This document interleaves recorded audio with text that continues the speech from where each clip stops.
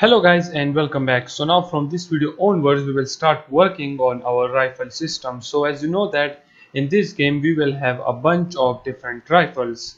So for adding rifles you can use your own rifles but if you are following me then I will provide a link to this rifle pack so just go ahead and download it and after downloading it as you can see this is a WinRAR file so I will simply click on extract here and after extracting it will give you this rifle pack okay which is actually a unity package.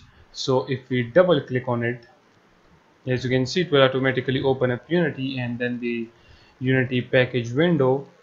Okay there are the gun models materials sounds and the textures. So just simply click on import. And after importing it will give you this guns folder in the assets guns okay? Then if we click on prefabs then gun models right here you will find these different gun models. As you can see this is the knife then we have this machine gun then we have the bazooka Uzi and then the shotgun and then the gun okay? And if you click on this rocket folder right here we have this rocket launcher as you can see now if we click on the sounds right here these are the different sounds for our different rifles. And then we have the textures.